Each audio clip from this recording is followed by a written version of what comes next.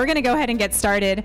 My name is Erica Madden, and I am the Executive Director of Launch LKN. I really appreciate you guys being here tonight. This is our finale of the Infinite Possibilities series this year, but um, we're excited to tell you that we'll continue it again next year. We've had a lot of fun putting together these events and selecting topics that we hope you have found interesting. Um, I will give you a few more details about tonight's presentation, but first I want to introduce our board chair and co-founder of Launch LKN, Mark McDowell. Um, Mark is what I call a big idea guy. Usually the biggest ideas come over drinks, which is why you always have craft beer in your hands when we come here.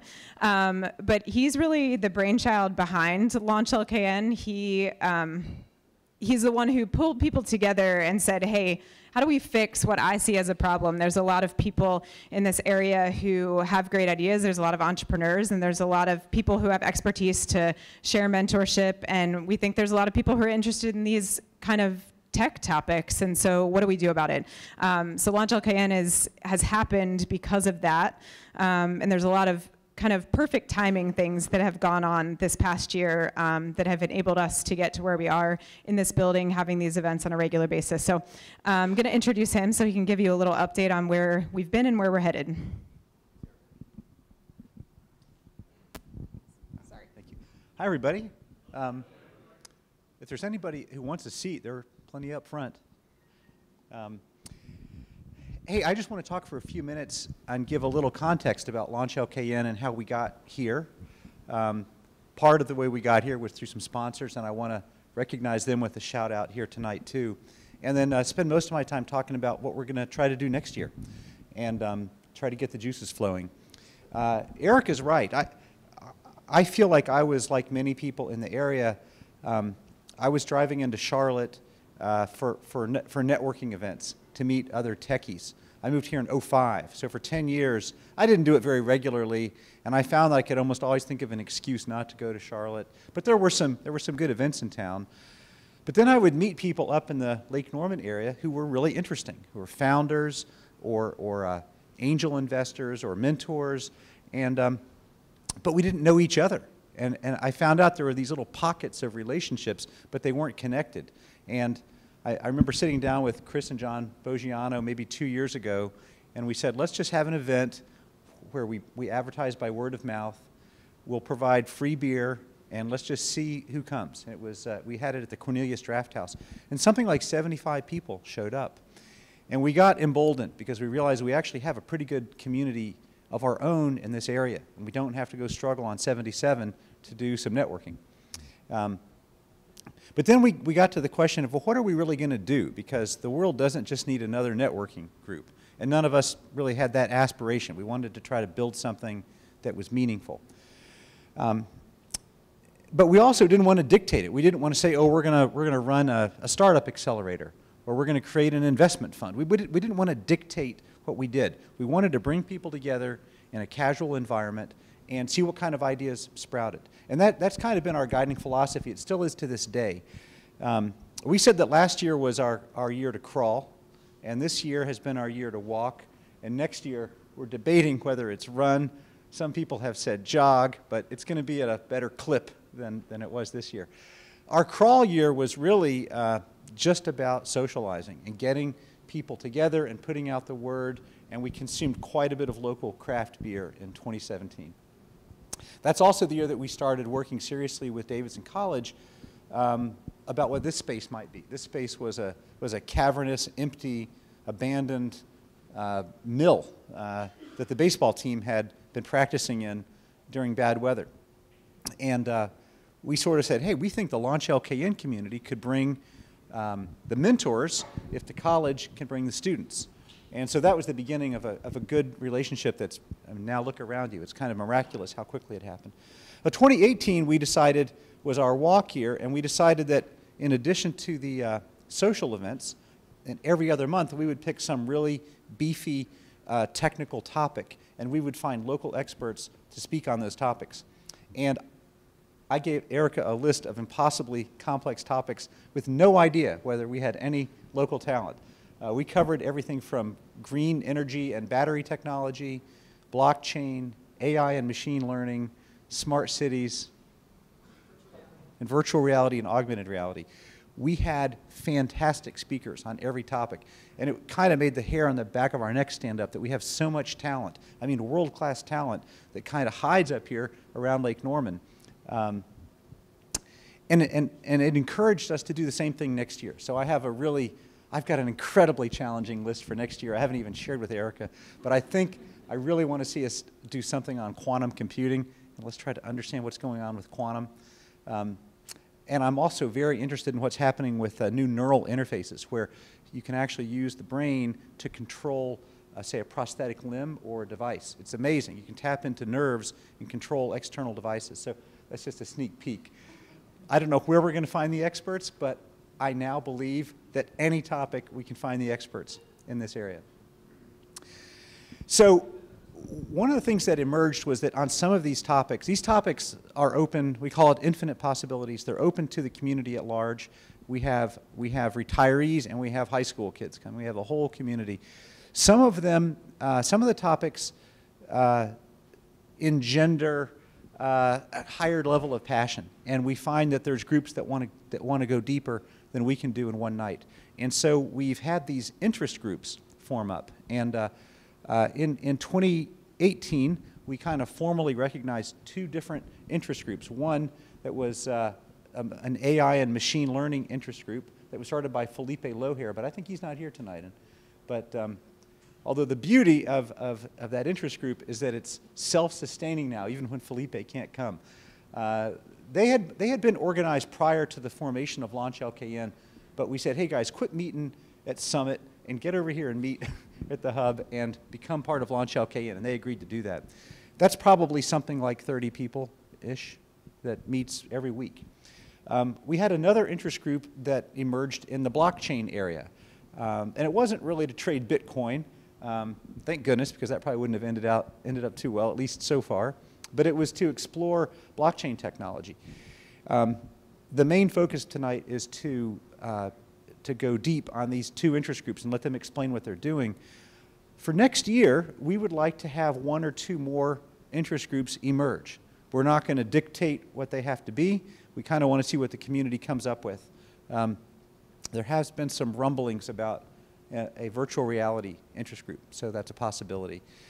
Um, one other thing that we're hoping will happen is that some of these interest groups and some of the people involved may start to spawn actual startup companies. Because the interest groups themselves are not intended to be companies. They're intended to be uh, learning experiences. And I'll say more about them in a second. But it would be nice if some of them planted the seeds of some new companies. And that, then I think we would come full circle, where we actually, we brought mentors and entrepreneurs together, we created a fertile environment, and then we actually had some green shoots come up from that environment. Um, all of this was possible because there were a few local businesses and organizations uh, that took a flyer on us before this building was built and before we, we really knew what the crawl, walk, run stages were. And I just want to thank them and um, encourage you guys to reach out to them because they're here in the room with us. They are entrepreneurs or people who care about the entrepreneurial ecosystem just like we do. Um, let me start with the NC Idea Foundation, and I see, I see Greg Brown over here. Um, the NC Idea Foundation does a lot for entrepreneurs statewide. Greg is on the board of the foundation, and I think he's kind of the Charlotte. Are you the only Charlotte representative there? Oh, Walt is too. Walt is too. Um, uh, about this, about a year ago, we asked them to fund our lecture series, um, this Infinite Possibilities lecture series, and they gave us a really quick yes, and it, it made the whole year possible for us. Uh, Greg, Greg is on the board there. He lives in the area. He lives in Uptown. Uh, Greg is also the executive director of the Charlotte Angel Fund as well, and he runs his own uh, uh, fractional CFO service called Cardinal Finance. So Greg is, is uh, as steeped in the Charlotte startup ecosystem as, as anybody you'll meet in the area. And Greg, we really appreciate you guys saying yes to us. Thank you. Yeah. um, in no particular order, I, I, I want to just, I'll jump over to uh, Andy Jones. Um, stand up, Andy. Uh, he's six foot nine. Um, he is the tallest lawyer. He's the tallest lawyer in Charlotte. Uh, I don't know if he's the most expensive lawyer in Charlotte. Certainly not. Um, Andy is, is uh, he's a partner with the Forrest firm. He's opening up their Charlotte office here. Um, he's also Davidson grad, so uh, hopefully we'll see a lot of him around here. Uh, the Forrest firm uh, is, a, is a, I'll say, a smaller boutique law firm that has a special focus area on helping startups um, with their startup matters, from fundraising to corporate structuring and I think some intellectual property. They have a pretty unique program where they charge a low flat rate and just handle any, uh, basically any legal matters that a startup has. I won't go into the details, but I hope you'll see Andy and, and, and the Forrest firm is, is going to be a fixture around here next year.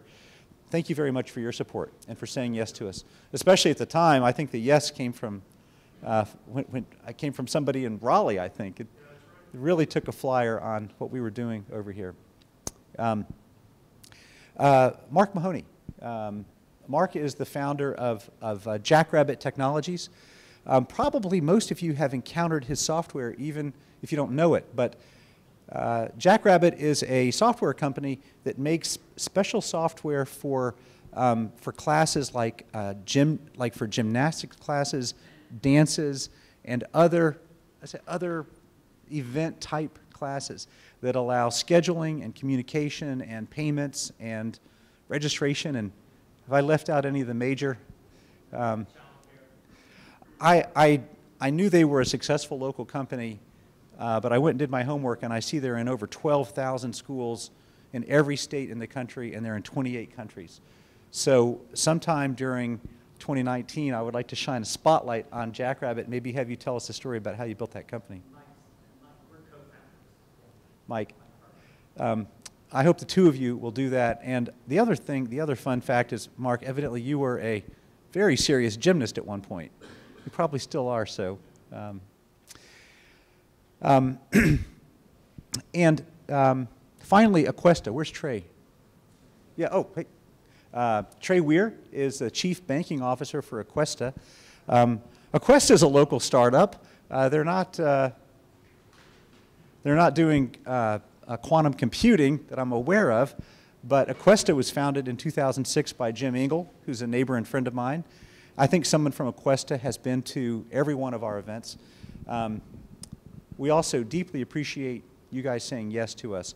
Aquesta is, is not only a startup in this area, they're the only community bank founded and, and headquartered here in Mecklenburg County. Um, they are part of this community. They are lending to individuals and they are lending to businesses. And, and their money that they're lending comes from the deposits that they get. And so uh, I hope that all of you, whether it's from a business standpoint or a personal standpoint, will think about supporting the local entrepreneurial bank that we have here. So, Erica, have I hit everybody? Um, my sincere thanks to all of you. We really appreciate you believing in us. Um, we don't really know what the future holds. We have an idea of what 2019 holds. Um, but what I love about our sponsors is they said, hey, we just trust this group. Just, just keep doing cool things. And uh, we really appreciate it. Do I have a few more minutes or? Um, yeah, so a few things that we want to do in 2019. We really want to see these interest groups thrive. And as I say, we're hoping that one or two viable interest groups will, will emerge we are in the process of putting together sort of a, you know, sort of a little bit of a playbook on what does an interest group have to have to be sort of officially recognized. It's got to have a certain number of people and a certain mission and so forth. But the interest groups are really groups that meet outside of the regular program, and they're really about teaching. Uh, what I've learned, and I think Felipe kind of pioneered this with the AI group, every single meeting, somebody different teaches the whole rest of the group. So you're either a student or a teacher every single week when you meet. Um, and the idea is to explore, to ask questions, and to learn. These interest groups are not just for techies. They tend to be technical topics because that's kind of our the binding glue around here. But every one of these interest groups needs um, communicators. They need people with marketing talent. They need people with web design skills. So uh, I worry that there might be some people in the community who have a real interest, say, in AI, but they say, well, I don't have any, I don't have a PhD in AI. I can't go join the interest group. Wrong. They need you. So if you have an interest and you, and you're, and you want to learn, come to the interest groups. You'll find them very welcoming. One of the other things that we want to do next year is we want to take our, our mentor network and we want to formalize it a little bit. We have probably in the neighborhood of 100 mentors in Launch LKN. And a mentor is, is pretty broadly defined. In some cases, mentors are, are entrepreneurs themselves. But in other cases, they are, they are former, you know, they're cashed out entrepreneurs, or they're former business execs, or they're retired or semi-retired, but they have a strong desire to mentor and coach uh, and get young companies standing. Uh, in some cases, mentors will invest. In some cases, they'll join a board or an advisory board. In other cases, they can open up their Rolodex. Um, the problem with our mentor network is that um, we all get together and drink excellent craft beer, but we don't have a great skills inventory. And when somebody new comes into the group, we don't necessarily know, oh, you need to go and talk to Mark Baumgarten or whatever the case may be. So we want to put more structure around our mentoring program so that mentors can discover one another, founders can discover mentors, and we can make the organization work more efficiently. Um, and I think, I think 2019, that's going to be part of our, of our jog and run in 2019.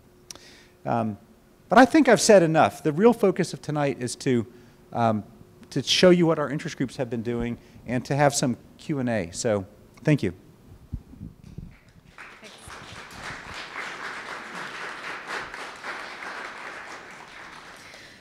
Thanks, Mark. Um, I think he covered quite well what the purpose of our interest groups are, so I won't go into any more detail about that. We'll get started. But I do want to remind you, we use a text message system where you can text your questions. So as you think of them, um, please feel free to send them to us. And as we get finished with the presentations, um, Chris Baggiano is going to be our MC tonight, and he's going to lead us in the Q&A session. The number is over there as well, and I have a couple slides that'll come up. But if you want to put it on your phone so you're ready to ask questions, that would be great.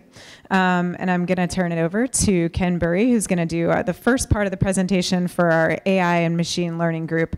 I'm pretty excited about what they're doing. They're really creative bunch of individuals on this on this team, so I think you all are going to like what they have to tell you.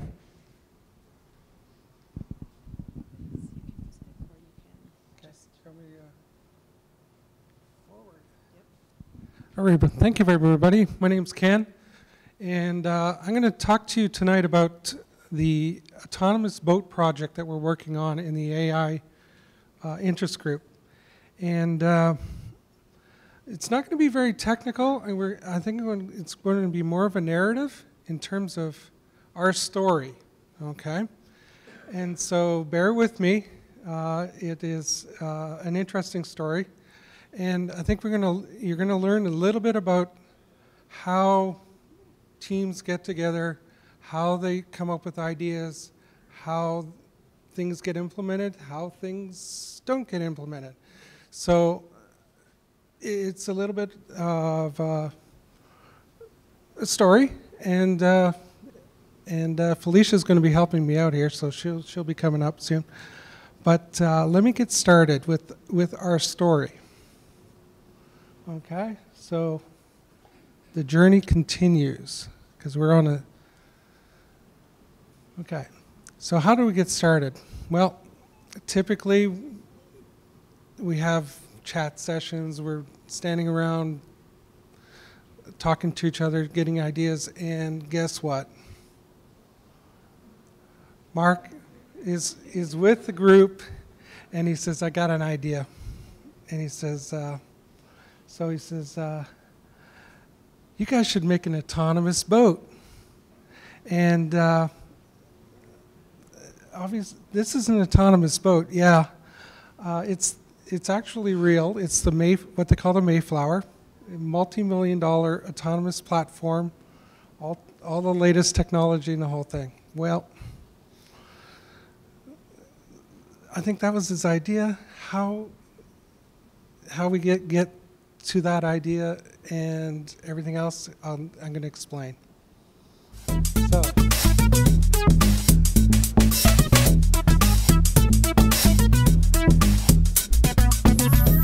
Okay, this is Lake Norman if you don't recognize it. It's called a shore or a sandbar party.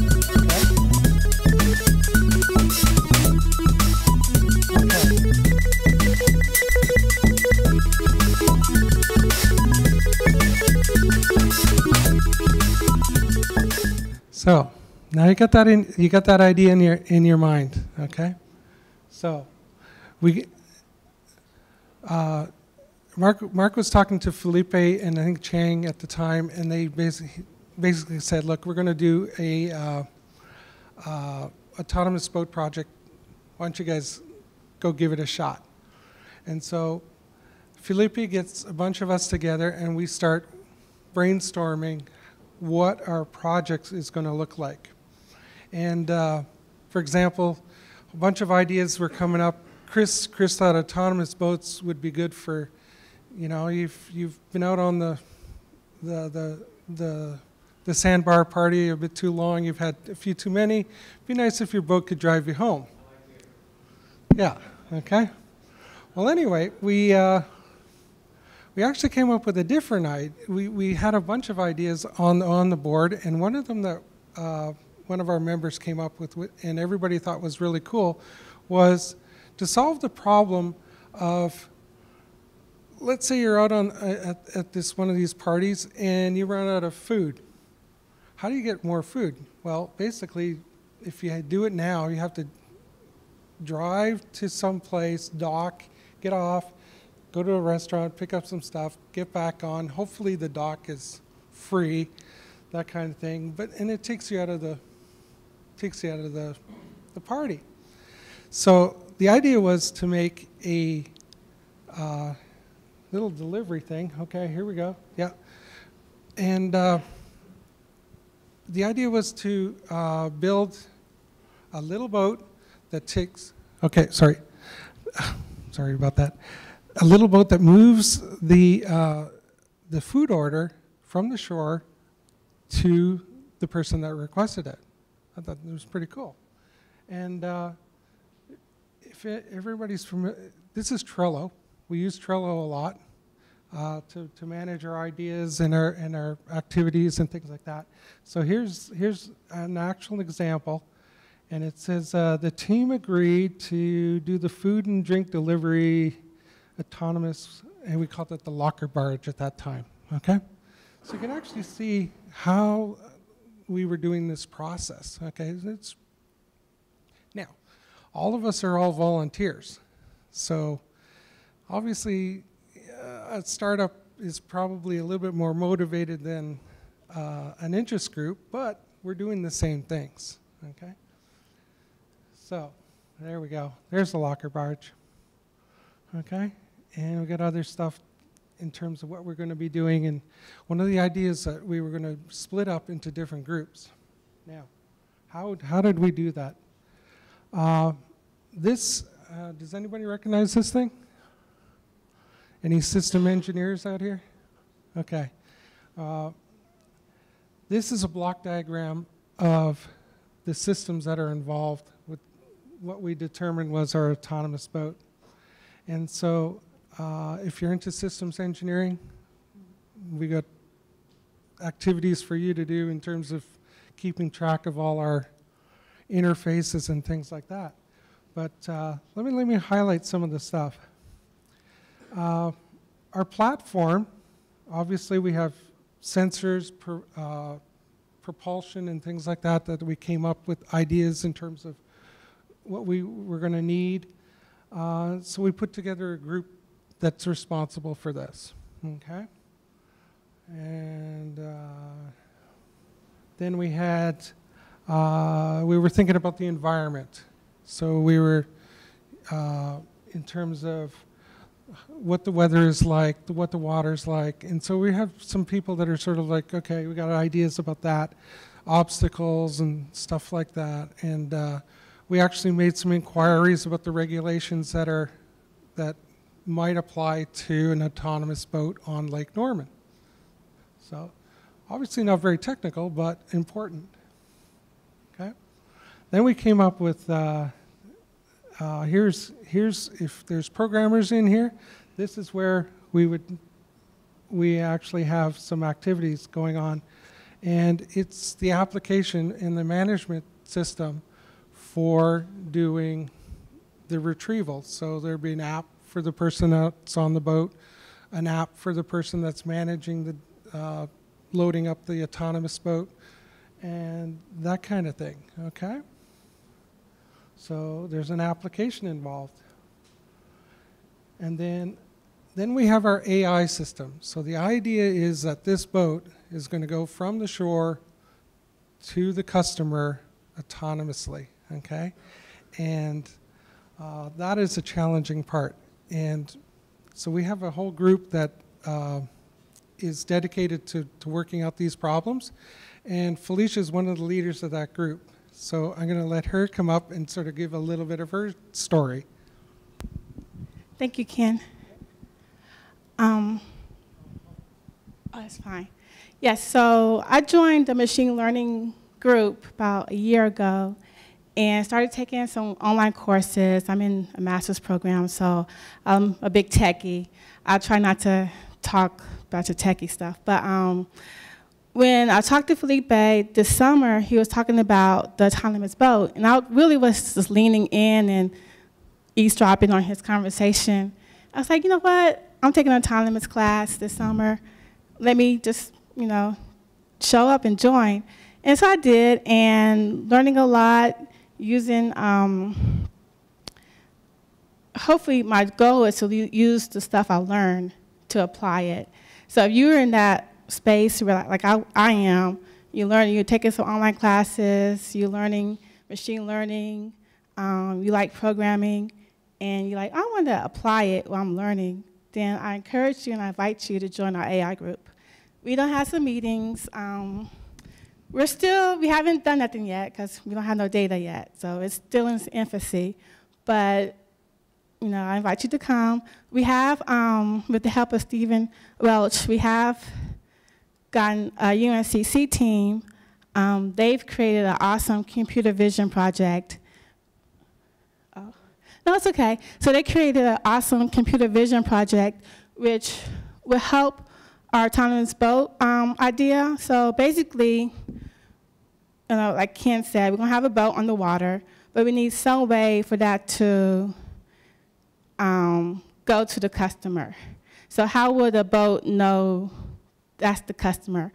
So if we was gonna use some hand gestures, like a waving the hand, one hand, or waving the, you know, the other hand or waving both hands. So that's the computer vision project that the UNCC team is working on, and I'm excited about it. Um, we had a meeting yesterday, and they told me all the stuff they're doing. It's pretty high tech. They're using neural networks, deep learning, if that's a term you're familiar with, but um, it's going to be pretty good. So that's it, Ken.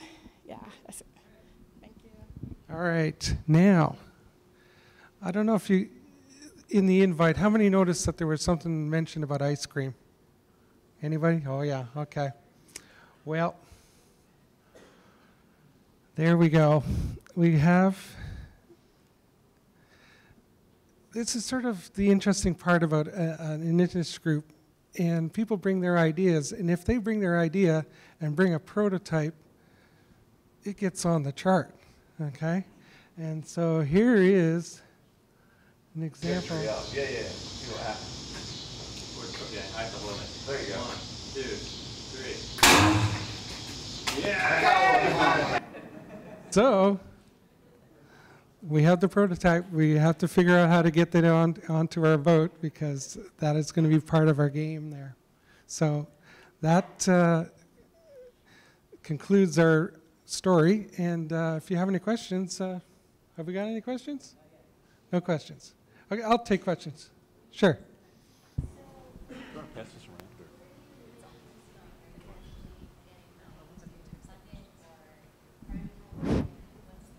Okay. Okay. We we are working. Yeah. Yeah. Yeah. Yeah.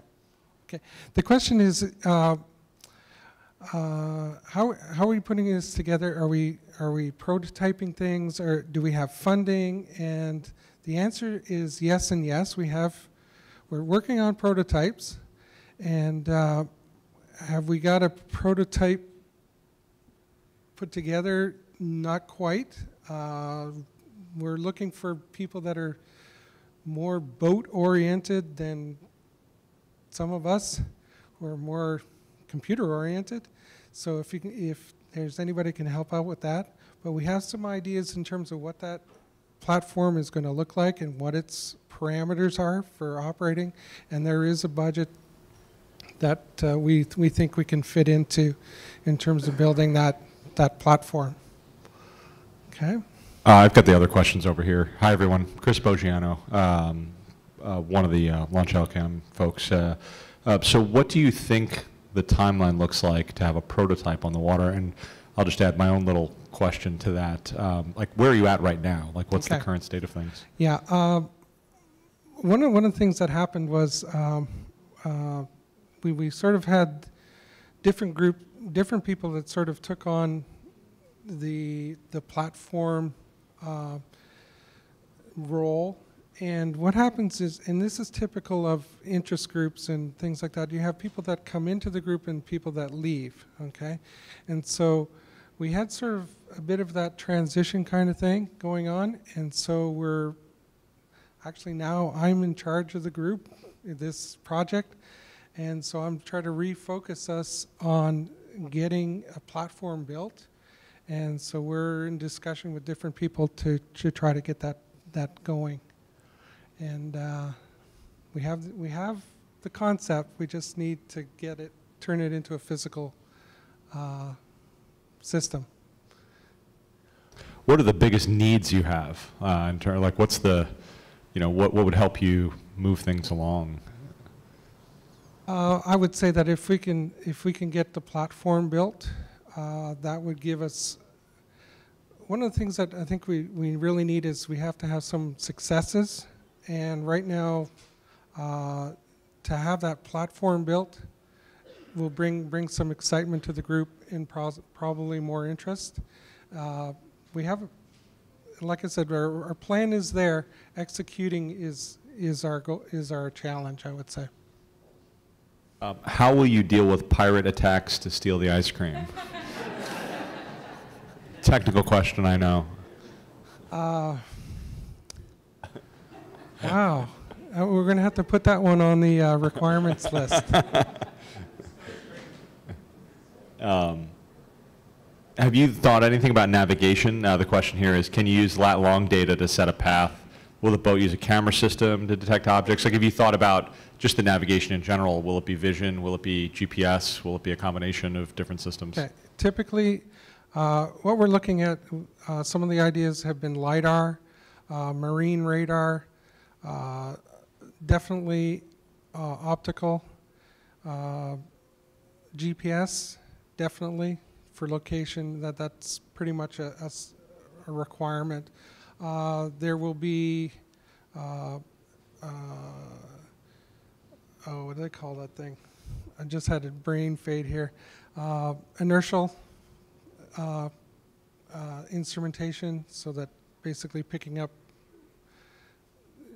basically the, the same kind of thing that can actually do AI, I mean, uh, uh, virtual reality kind of stuff. So, pretty much the same technology, integrating it all together. Uh, I actually saw something just the other day that I made it a point to look up uh, a couple hours ago, but there, uh, in 2014, so at this point it's pretty dated technology as far as AI goes, but uh, in 2014 there, someone made a cart that had a fish tank on top, and in the fish tank was a goldfish, and on top of that was a camera looking down on the goldfish, and the camera would recognize where the goldfish was swimming, and it would steer the cart in the direction of, uh, of wherever it wanted to go. So I thought there might be an opportunity for you to incorporate that when I saw the headline, uh, incorporate that here. We're, we're running out of space. yeah, no, I'm kidding, I'm kidding. Uh, on to the real question. Uh, what types of regulatory considerations are being taken? What if a police boat needs to flag the AI boat down or pull it over? Okay, we, we just have a new requirement. Uh, the uh, yeah, typically typically anything under 10, uh, 10 horsepower is unregulated in North Carolina. So uh, they probably look at it and go, looks like somebody's stray bumper boat. So, uh, but it's a good question though. This is a question for Felicia. Like, how uh, how is this project integrated with your academic studies? If you want to elaborate. on- Oh, yes, And I don't know if you want to elaborate on what you're studying specifically. Sure. uh, yeah. So um, I'm a student at uh, the online, at Georgia Tech. They have an online Master's of Computer Science program. So I'm very interested in data science. That's why I got, I'm trying to get my master's. And a lot of the courses is data science related for a computer science program. But um, so I'm learning all these machine models and algorithms. And I'm like, know how to do it on paper and on code, but how you do it in real life. So um, that's why I want to know how to, you know, apply it, get it done. It, and it's harder than when you do it for a project. It's not, it's not the same when you like try to actually apply it. Well, for me, it is. So um, that's the, that's my motivation for it. So the classes, I took a data analytics class um, last fall that really had to deal with, uh, was it linear regression and logistics regression.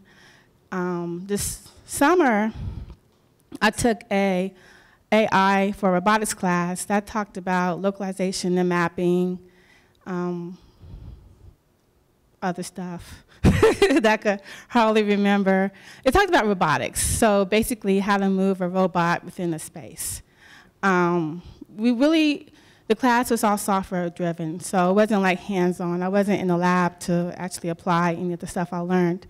Um, this semester, I'm, I'm only taking one class at a time because I'm a full, I work full time. So this semester, I'm taking machine learning for trading. Um, if anybody in finance and stocks, it's really, I'm learning a lot. I know how to short and sell and buy and all that stuff. That's pretty cool. Um, so you're applying machine learning to trade stocks. Um, like I have a project now, if anybody know about Q-learning, um, using Q-learning to trade a stock and optimize your portfolio. So yeah. I think the market did good today, so well done. Uh, um, I, uh, one of the things that I was thinking about when I was standing in the back listening to your presentation is that if you listen to any K through 12 stuff, if you have children in school, you may have heard the term project-based learning. And typically school is broken down into math and reading and all the typical subjects that you're familiar with. But project-based learning is the idea that if you have a child synthesize all of those topics into an actual project, they end up comprehending them much better in the end. And this is just the adult version of that, which is a great way to learn uh, machine learning. Um, so I don't know if you have a comment on that, but the next question, and I, I know a little bit, uh, uh, or I, heard, I heard a little bit of backstory, but um, how did you end up on ice cream as the, uh, as the topic, and do you worry about, where's the food you're delivering, and do you worry about it getting sloppy was the, uh, the concern? Yeah, we, we, the, the ice cream is more of a marketing ploy. Uh, so, what's that? Switch to beer, shooting beer cans? Okay. That, that might have a more li liability issue than shooting ice creams. So, uh, yeah. I think that, is there any more questions? Are we good? Uh, there was a, uh, let me see. How, how do you, do you have any vision on how you're going to power it yet? Oh, yes. Um, yeah, there's, there's been quite a few ideas. Uh, one original idea was uh, air, like an airboat, put a fan on, and this was sort of a copied of an idea that we saw from Carnegie Mellon. Uh, you, they, they have a autonomous boat project. Uh, then we started looking at, uh, uh, we still want to keep it safe because if you look at that video, we got people in the water and the whole thing. So we're looking at a jet boat kind of propulsion system now. So imagine, imagine a, a Roomba on water. Okay, so that kind of flexibility. Okay. I think people did imagine that because there's a few questions aligned with uh, could it sample for uh, coal ash pollution contamination, uh, let people know about bad weather, or uh, trim the invasive plant that's uh, whatever that, yeah, hydrilla. Yeah. That, the, I, I'd recommend looking up the uh, Carnegie Mellon people. They've done very they, they have projects and been going for I don't know how many years, but they have similar ideas. They've been over overseas doing uh, water uh, quality work and things like that. So putting one of these uh, to work, uh, identifying wildlife, taking pictures of wildlife and things like that, and just uh, one of their projects was actually just to map the bottom of the, uh, the lakes that they were in to, to get an idea of depth and that kind of thing. So there's a whole bunch of ideas that this project could be used for. There's, uh, there's uh, several different questions um, that I'll sum up into one, and, and I'll actually answer it. It's about uh, have you assessed if there's customer need? And I don't think that's the point of this. I think that the point of this is just to do it for the sake of doing it, uh, which is how a lot of hobbies are. So I don't think anyone in this has a commercial objective in mind. Now, as Mark said, not to say that a commercial, a startup couldn't come out of something like this, but at its start, it's just pursuing something purely for the sake of doing it, um, which. At some point, there will be. Now, Chris may disagree with me on this, but uh, Yeah. um, he may morph it into something else, and you guys may have talked about that. Yeah, actually, Chris is leading up the, the, the business side of things, so uh, he's got some ideas in terms of where we, where we can go. Uh, A couple other questions I'm sort of encapsulating into one. Have you been, uh, has anyone received your idea positively or negatively? Has anyone been threatened by it or been concerned or been overly enthusiastic? Uh, I would say that we're probably on the enthusiastic side. If you haven't had anybody that sort of goes, "Oh, you shouldn't be doing that," uh, do you think we should be doing this? I think so. All right. Thank you. Awesome. Well, thank you. I think we've grilled you here, so we'll, uh, we'll let you down off the stage.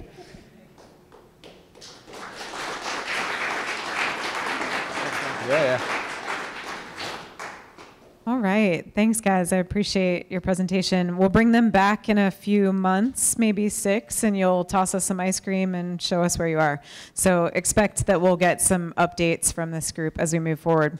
Um, our next group is our blockchain group, and they have an eye towards social goods. So they're people after my own heart, a lover of philanthropy. So um, I'm very excited for them to share um, where they're headed. They're a newer group than the AI machine learning group, so they're in some early stages in their projects as well. Um, and I think MC is going to kick us off. Is that right?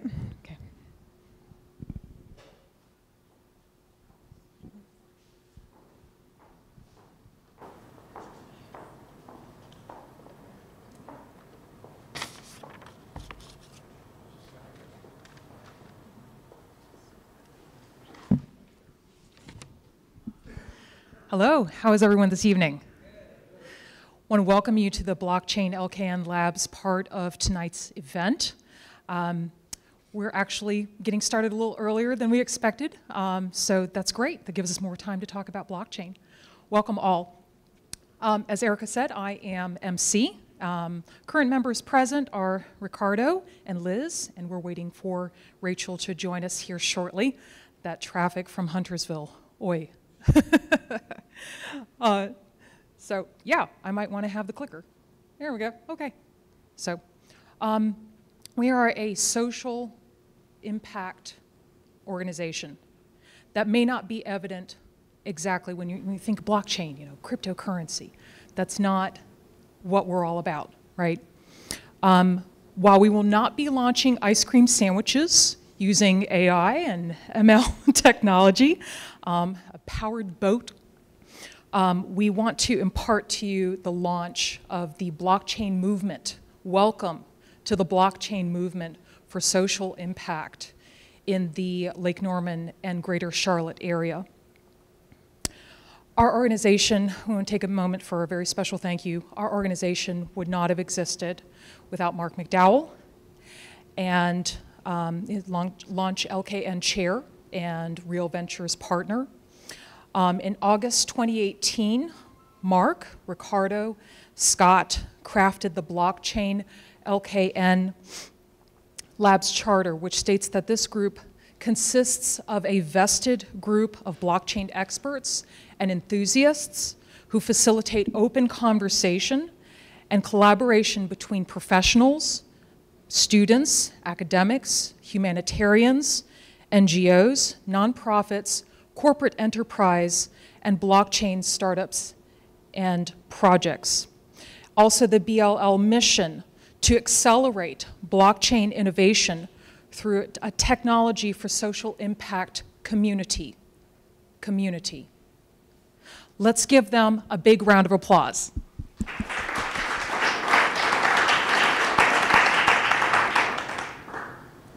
I'd like to quickly review our agenda for this evening. We have, we've had our intro and welcome, our vision, right, mission statement, charter, why blockchain matters, right? Liz will be speaking to that. Blockchain for social impact, transforming Charlotte. What can we do? What's the problem? What's the solution? And of course, Q&A. Okay, so this is an involved, right, multi-Venn diagram. I want to draw your attention to technology for social impact. How are we harnessing blockchain technology? Why are we drawn to it? Blockchain actually has the ability to inject trust in a trustless society. Let me say that again. Blockchain technology has the ability to inject trust in a trustless society. Here we have technology for social impact, anti-human trafficking, missing kids, homelessness, social mobility, all of these different groups that are working using blockchain, using machine learning, community development projects, all of the above. Blockchain LKN Labs is laser focused on liberating Charlotte from Lake Norman, Charlotte, the greater Charlotte area, from being number eight out of 19,000 largest US cities for human trafficking crimes. Show of hands, who here knew that that was such a problem in the Lake Norman, in the greater Charlotte area? How many people knew? Okay, roughly half of the room. That came as a complete shock to me to think that my teenager um, would, you know, average age 13 to 16 years. That's the prime target age for social, I'm sorry, for human trafficking. 50% um, of people trafficked, usually girls, women, are under the age of 16. Charlotte is number eight out of 19,000 US largest cities. That's unacceptable. That's unacceptable. We and blockchain, uh, blockchain LKN labs and the greater community at large, we cannot stop, stand by. We refuse to stand by. We want to leverage blockchain, blockchain technology, artificial learning, uh, artificial intelligence, machine learning. We can use technology to make a difference. So that's what we're planning, what, that's what we're laser focused on today. In 2019, we see a collaboration, a stronger collaboration between AI, machine learning, to create a chatbot, honeypot, honeypot bot, honeybot, whatever you want to call it, to lure sex predators, potential sex predators, into a fake relationship using um, using that conversation, using that transaction log. Oh, put it on a blockchain. Immutable. Immutable evidence of what this person is trying to achieve, how this person is trying to lure an underaged boy, girl, what have you, and possibly trafficking that young person. In 2019 and beyond, blockchain LKN Labs could transform food stamps incorporating digital technologies, digital identities for the least of these. To receive what? To receive social services, immutable records, immutable transactions, proving who they are and what they need and what they deserve. Categorical cryptocurrency donations for food, medicine, etc. Where's my money going? Is it making an impact? The answer could be yes, could be trackable, through blockchain technology. More to the point, we can give our veterans, we can give our aged out foster youth, our mentally ill citizens, better tools by which to be visible in society. If you don't have records, if you don't have an ability to prove who you are, you tend to be invisible in a given society. We cannot stand by and let this happen. So why did I join Blockchain LKN Labs? As a woman of faith, business and technology. I was drawn to its mission. I was drawn to its charter.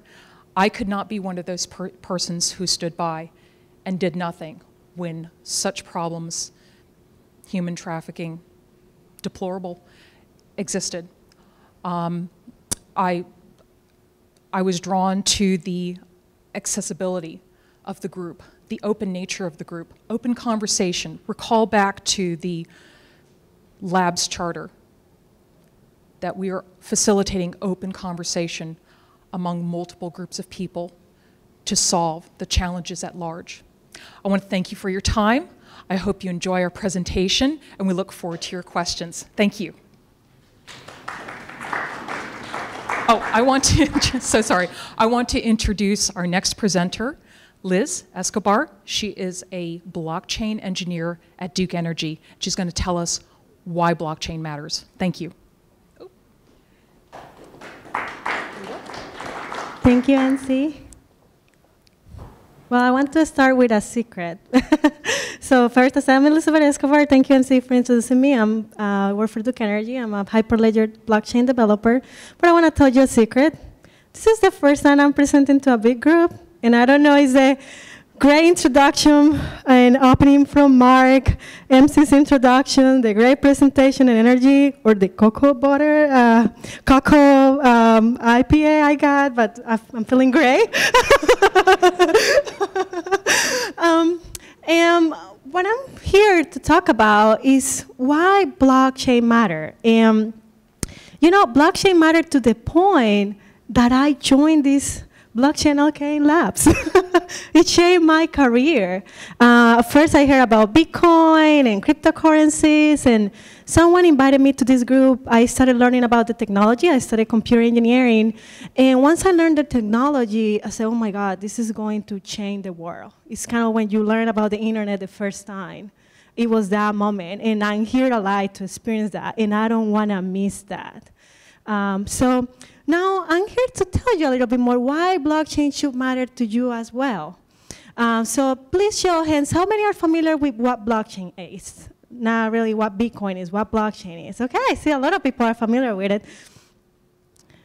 Okay, so blockchain is similar to the internet somehow. You get a lot of computers, right, interconnected.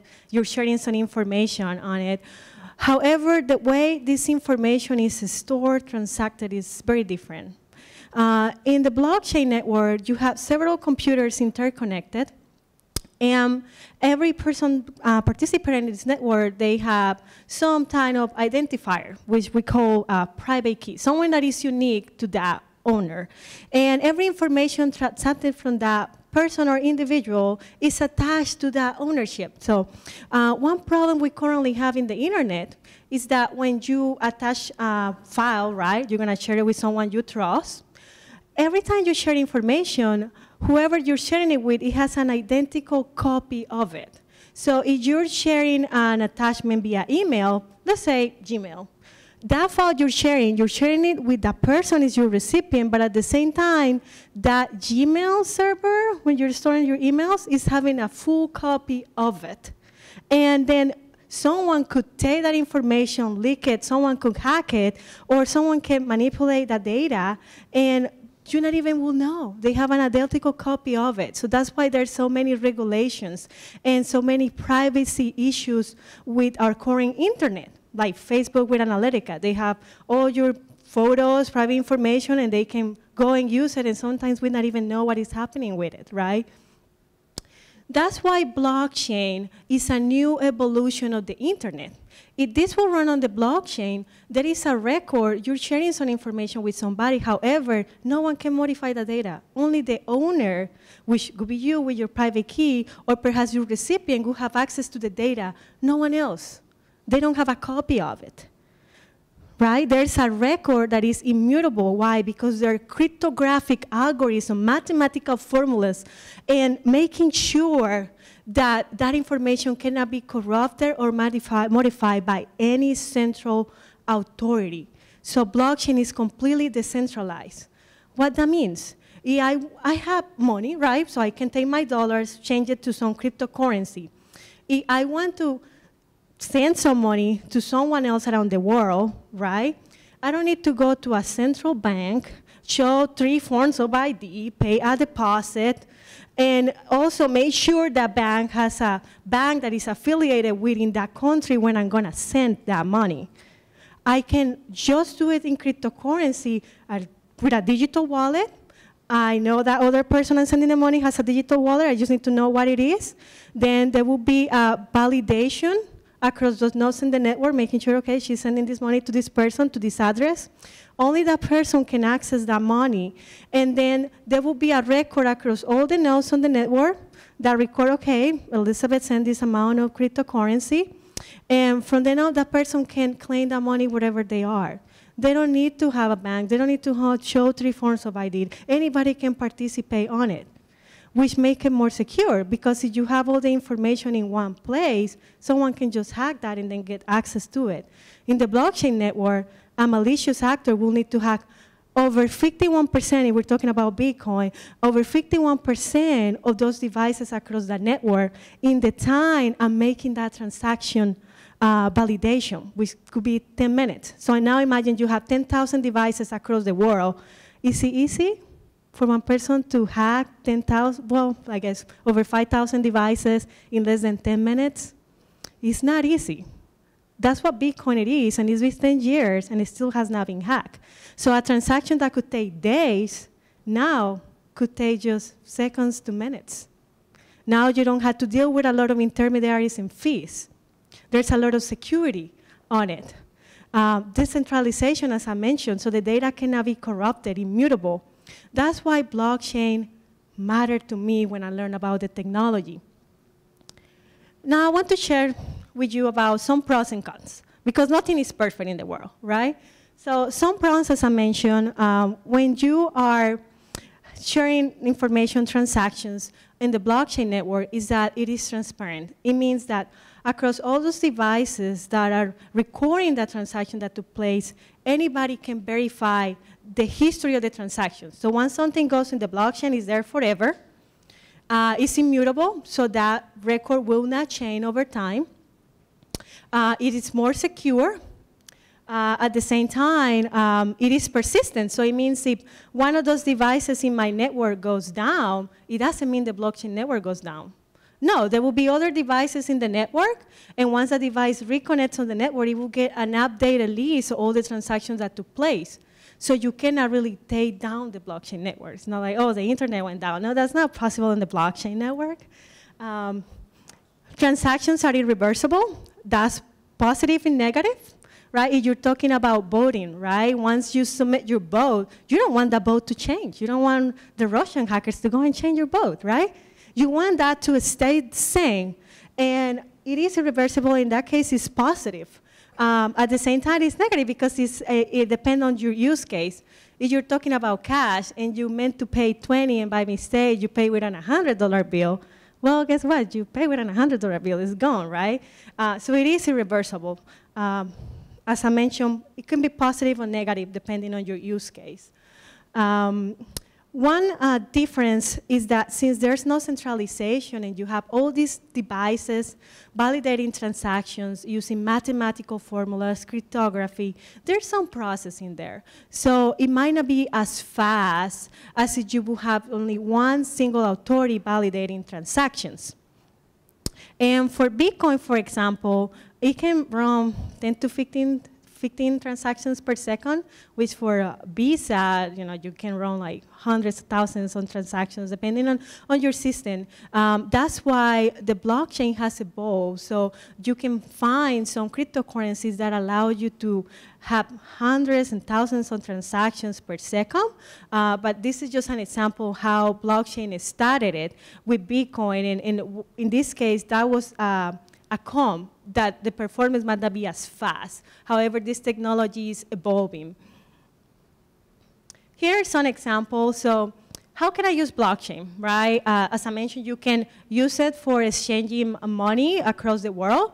So for example, you want to send money to someone in Russia, you no longer care the US doesn't have financial institutions in Russia. You can send it anywhere in the world, even if those countries are banning some of the institutions here in the US. It doesn't matter for the blockchain network. You can do it in seconds. Uh, in fact, uh, Wells Fargo and some other banks, they have consortiums now uh, where they have all these banks across the world in a blockchain network, so transactions uh, that are international can take just seconds to minutes to reconcile that rather than, uh, than days. Um, and the use case for that is that there was so much fraud on these financial transactions because sometimes they would take days. So let's say you're uh, trying to send like a million dollars from some country when they say there's a lot of intermediaries. That person could say, I send a million dollars, go and buy a house for a million dollars after made that transaction, and because it would take so many hours to reconcile, they wouldn't find out about the fraud after that person already purchased some goods. So just by the problem the blockchain is solving, they're using it now. And you can read uh, about several consortiums from banks on this use case. Another use case is the centralized apps. Many companies spend thousands of dollars uh, buying cloud uh, services just to make sure they don't have any downtime because that's negative. That's not a good user experience, right?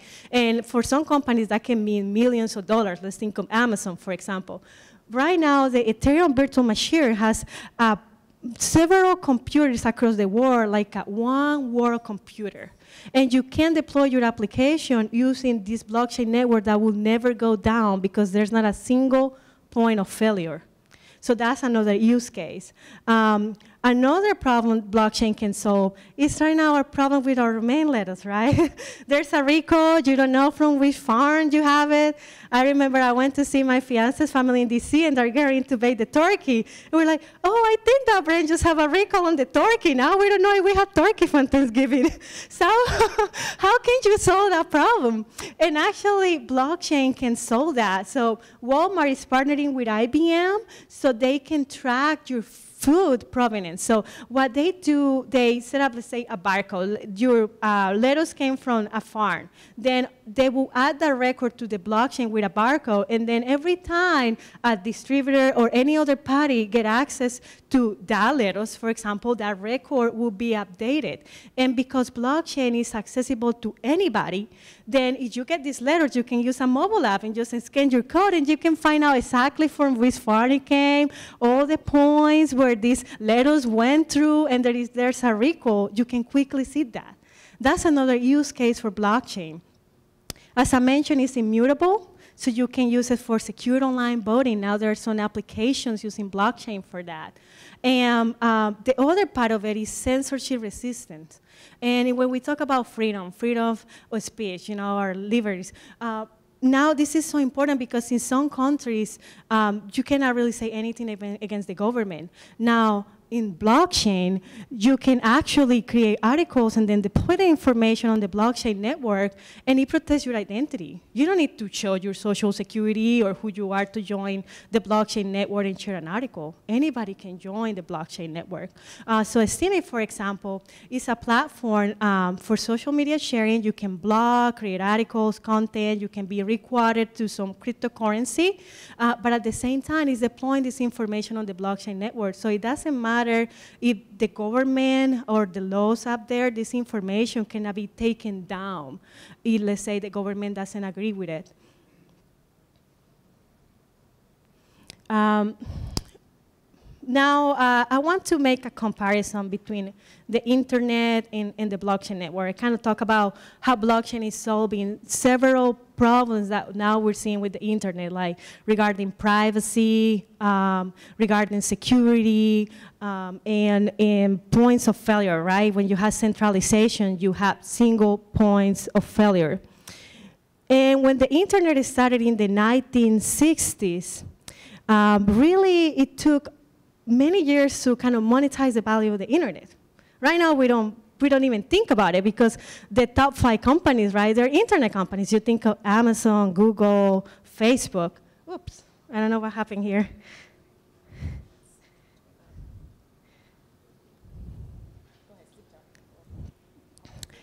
Okay, um, well, it's, it's kind of important what I was going to show in the graphic. Perfect. Yay! Thank you, Erica. Our tech expert, Erica. yes. So if you look at this graphic, uh, it really took over 50 years to see the value of, of like the internet, you know, to have these almost trillion dollar companies. But blockchain so far is just 10 years old. And we already have over 10,000 nodes around the world. And at some point, even blockchain, uh, well, Bitcoin is one example of it. Uh, Bitcoin has over 10,000 nodes. And at some point, it even reached a valuation close to trillion dollars now. It's a lot lower than that. Uh, but there are some startup projects, um, blockchain projects that even hit valuations higher than that. And now, this is not a disclaimer to go and invest in crypto. It's kind of just to show you that even though the technology is just so like kind of infinite, still evolving, it's already proven the value. So that's why I think blockchain matters because it's solving so many issues we currently have, and at the same time, despite um, the earliest stage in which it is, and that is still evolving, it's not mature and fully adopted, it still has proven its value.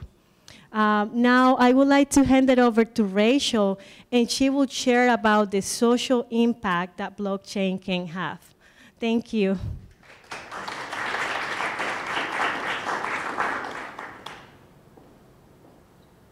Thank you. I made it. um, hi, my name is Rachel, and thank you, Liz. I always learn so much from you. And uh, first thing, I'd like to thank everybody for coming out. Uh, apologize for coming right at the last minute. But um, my role in the group is a non-technical one. So I'm going to kind of take you down um, a little bit of a journey that I've been taken on by this wonderful group. Um, you know, with Melissa and with Ricardo and everyone who, who's been joining us. Um, what brought me to the, the Blockchain LKN Labs group is my interest in social impact. In particular, I am not a technologist, but I'm extremely fascinated and learning as fast as I can about it, about the blockchain. But my main interest is I am a teacher. I was a college teacher for 15 years outside Chicago, um, and now I'm currently working on being a Montessori teacher in Huntersville. Um, and the main thing that excites me about being a Montessori teacher and hearing about this technology blockchain is there's so many of the social impact projects that are humanitarian based, both global and local, that reach out to new blockchain technologists to create better solutions. Solutions of, as Liz pointed out, solutions of getting rid of single points of failure, which helps get rid of uh, government corruption, transparency. Um, and as a Montessori teacher, right now I'm teaching six to nine year olds, and that's where I ran from to get here. Um, I love them. Um, they're going to be the future, and they should have a say in the goals they want to solve and the technology they might want to use. And if it's going to be a new internet, well, they already know more about the internet than I, I hate to tell their parents, than, than their parents might know. Um, so I think the world is ready for teachers like me Montessori teachers like me to reach out and realize that education is about preparing our kids for the future, future of prosperity, of security, of transparency, perhaps, um, all these things. So there are literally out there, I don't have the statistics, I'm still learning, um, but many, many, many, at least since a year ago, many um, projects um, with Blockchain for Humanity initiatives throughout the world um, a lot of them proposed by the United Nations. Um, so I'll give you just a little bit of introduction to me um, as a Montessori teacher and then make further connections to how this is about social impact projects with the blockchain in particular.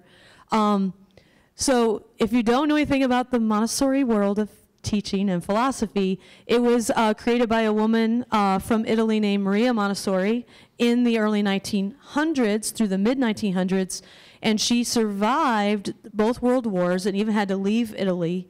Um, and all the time she was doing that, she was seeking a way to create a system of education that might promote um, better global prosperity and security. So when I think of things like global prosperity and security, wow, that sounds like a lot of things that the social impact projects for the blockchain want to achieve. Um, here's one of her quotes. Uh, children are human beings to whom respect is due, superior to us by reason of their innocence and of the greater possibilities of their future. So the last two charts that Liz showed have been kind of on my mind a lot because if indeed the blockchain will become, I think the term is the Web 3.0, it'll be the next way in which we function kind of as a, um, I think the phrase is a world computer, meaning we make nodes throughout the world to share information, to store information, to protect information, then I think these, these ideas of the way I teach become very appropriate to the social impact projects that are currently reaching out to make blockchain solutions. Um, we have this view over here. Again, just to, to give you my perspective as a non-technologist, but as an educator, um, every year Montessori schools get to go to the UN and do a model UN. And that's a special relationship to Montessori schools because she was there um, when they first uh, created the first League of Nations that led to the creation of the United Nations. So Montessori schools, indeed, we go right to the General Assembly floor and we have eight-year-olds and nine-year-olds making speeches, passing resolutions, pressing voting buttons, and submitting their proposals. And there's always little budding technologists in every room. And they're saying, where are the white hats? And we got to hack in and you know change the corruption by putting things out there. So I'm pretty sure I don't get to go this year because the kids I'm teaching this year are too young to go. But the years when I taught kids old enough, I'm sure there's going to be little young blockchain enthusiasts at, at this conference that's going to be in the spring. So these Sustainable Development Goals, Youth Impact Forum, Model UN projects for the Montessori schooling system, you know, this says here, take the next step and guide your students to be at the forefront of today's society. So whenever I come to the meetups, I always come to the meetups and I'm like, I gotta learn, I gotta learn, I gotta learn. I gotta educate myself because I know pretty much all the kids are gonna be running right past me in their knowledge and I'm chasing right after them.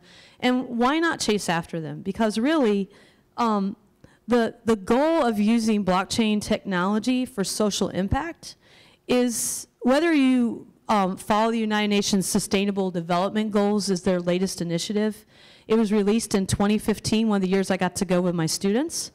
It's a series of 17 goals to help the world create programs for sustainable development. There's different themes, but really, when you pull out of these themes, you can get um, um, you can get all these problems, if you want to call them that. And when you look at all these problems, these problems, blockchain use cases are out there already trying to solve these problems. You know, um, homelessness and poverty just um, are on my mind a lot because I think about those are the people who can't gain access. They can't even get a bank account. So now with blockchain technology and finances, as, as Liz pointed out, everyone, everyone can participate and if it's an open blockchain, the more people who participate, the stronger it will be.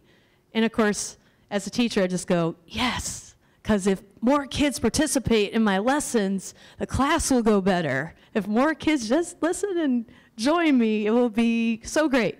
So that's how my week has been going. So, um, but this whole idea, a technology can be a metaphor for what we all need to try to do, perhaps, which is open up our minds to the idea of um, making these these nodes that aren't central, they're decentral, but they create prosperity and security and that prosperity and security also leads to all kinds of things we could try to solve. Wildlife conservation, anti-corruption through the transparency, sustainable carbon credits. I mean, but all these, we're going to head kind of up to the top because I don't want to go too far down the technological rabbit hole because then I will get a little lost. I try, I try to hang with everybody. Um, but here we see there's this wave of global and local actual projects that have used the blockchain successfully. So here we have one of the UN um, World Food Program proof of concept pro uh, projects that actually it was scalable because being scalable, being ethical, being useful being and able to talk about it is sort of what I try to do. But the World Food Program here for these uh, Syrian refugees who, you know, they had to leave their home. They could have lost all their all their documents, all their rights. And here they are in Jordan, and this program was to make sure, well, if they're going to lose all that, we're going to make sure they can get food, and we can track it. We can track it on the blockchain. Um, and then maybe perhaps more um, local, uh, you know, West Virginia, uh, there was an actual blockchain voter registration that was successful um, with uh, military voting. I think was it absentee military voting. So um, that's pretty exciting. So, so what are we doing with our group here at the Hurt Hub? Um, our, well, we're going to think about how these issues, you know, I, I'm a big believer that the local is global, the global is local. I've always been reaching out to the whole world, whether or not you, you think you need to go solve the whole world's problems, we can at least try to si solve the problem that's with us, where we are. And that's kind of as a teacher, it's always, I got to start here because they're going to be who knows where. Um, so what are we doing? Oh, not that, not yet. Um, we're, we're seeking to transform our world by being inspired by all the blockchain. Um, they just had their 73rd conference um, just a few months ago at, in New York, the United Nations, bringing up these goals again, and they had several sessions that were about blockchain initiatives. And if we look, when you go through here, one of the United Nations projects that was a great use case of blockchain technology for social impact was to work with a government, Moldova, and another organization called the World Identity Network. That's what this stands for. Um, working to make a blockchain identity because having your own identity can help prevent probably one of the most horrific things, which is uh, children, um, in particular, most horrific, getting uh, basically trafficked. And you might think that this is an issue that in Moldova, one of the poorer countries in Europe, I think, I don't know if it's still the poorest, but that's why it was occurring, because people didn't have access. Children, really, if we think about it, as I'm a teacher, I look at children, you know, think about how often they're not protected. I mean, they're children. We try to, we as parents or teachers or community, you try to protect them, but wouldn't it be great to make a future where when we, when we look in our own backyards, we try to figure out these, these children, these people that as a Montessori teacher, we're always talking about we're in the presence of someone who's the next Gandhi or the next president. They're better than us already. So why don't we look at these horrible hotspots for human trafficking and realize this is also about child trafficking?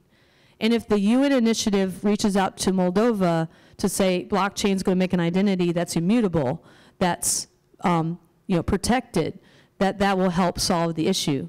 So then here we're going to actually um, at this point, you know, my role is kind of to keep the inspiration going, the energy going, being someone who can learn.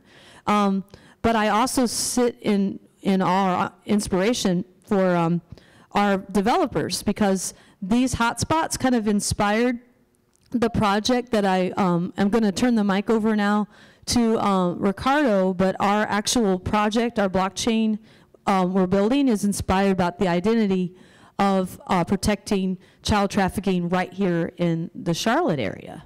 So um, before I hand it over, just thank you all again, and thank you so much to our group for all they've taught me. And um, this is the actual technical side, so at this point, the teacher will hand the mic off. So thank you. thank you.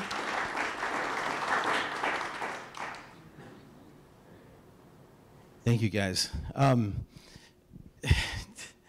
one of the first things before I get into the use case and uh, explain the technology, I, I just want to, you know, this group when we when we created it, we are all about can we create a group that's not just technical, but can we invite people that are non-technical? And Rachel, you know, she's she's our inspiration because when she joined, we really needed somebody to, to connect with the community because this use case is about creating, uh, leveraging blockchain technology and say, okay, you know what? If the next time ch a child in this town gets onto a bus, uh, a car, or ride sharing, or a plane, you know, can we do something? Can we authenticate them in a way that they're not authenticated today?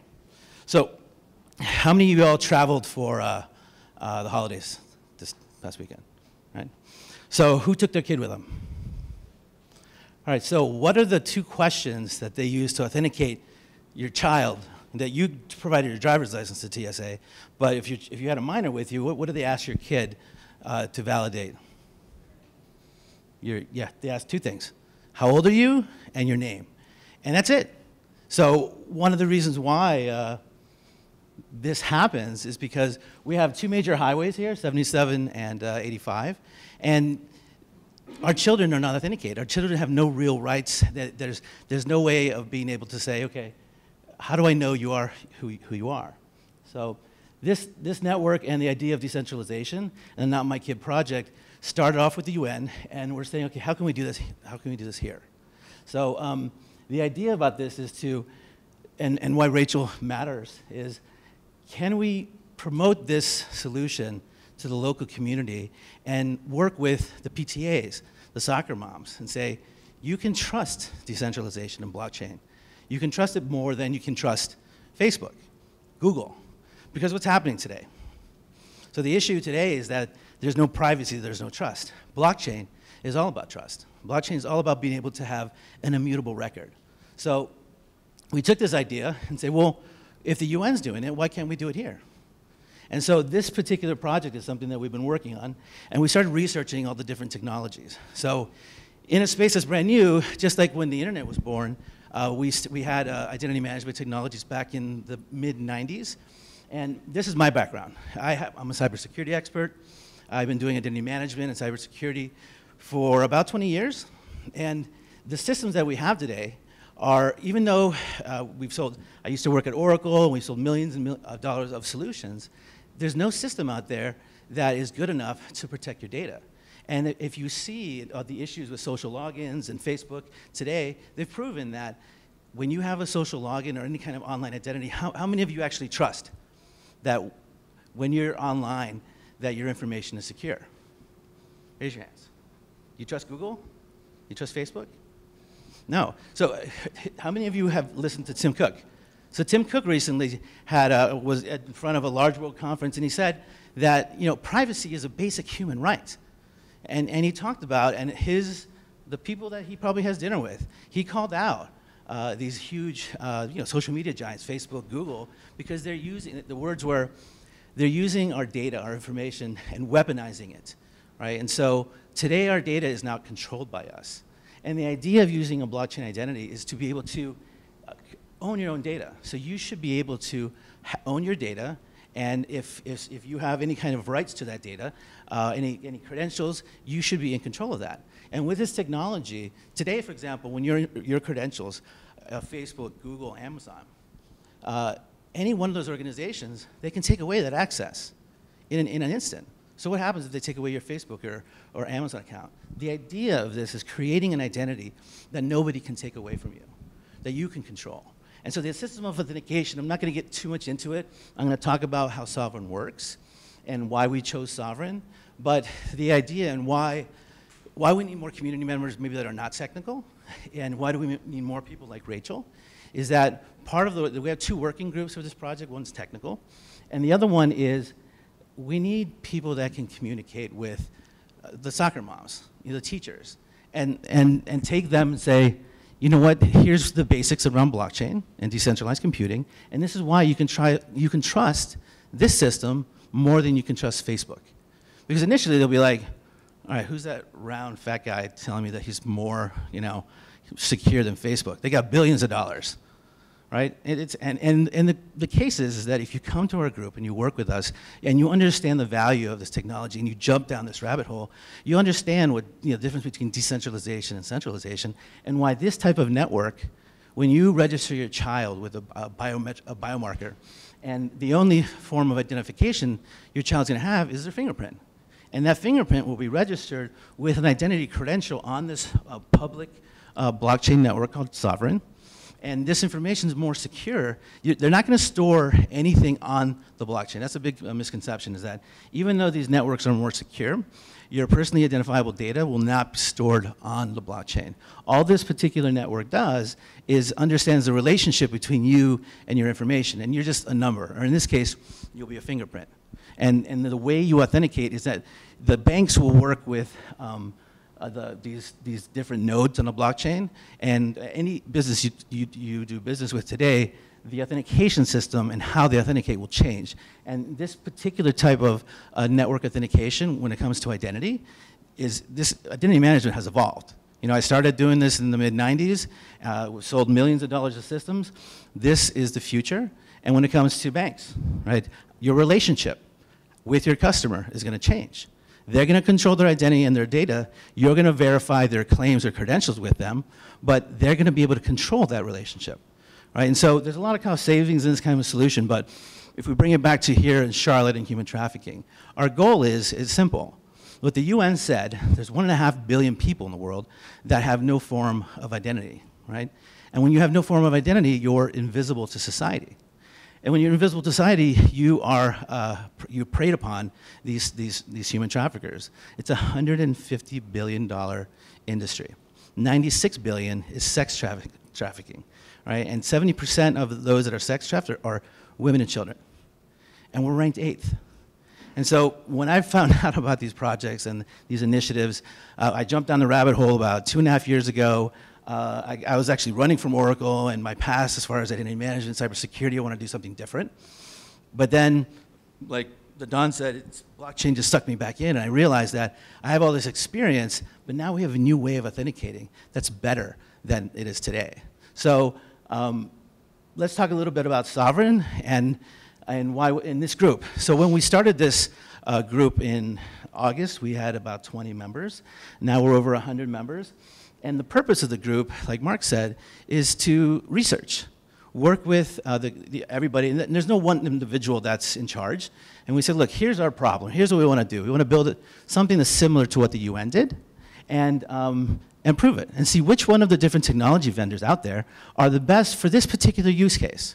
We're not saying Sovrin is the best, but for this use case, for protecting our children, minors, and victims of human trafficking, I, in my personal opinion and, and, and of the group, this solution, this technology network, is the best one for us because one of the questions you should ask is like, all right, great slide, Ricardo. So when is this going to happen? How are you going to make it work? And one of the beautiful things about Sovrin is that 75% uh, of the work has already been done. That network, that blockchain and network been, out, has been live for over a year. All we have to do is train our developers, train people in our group uh, to build applications that can do this.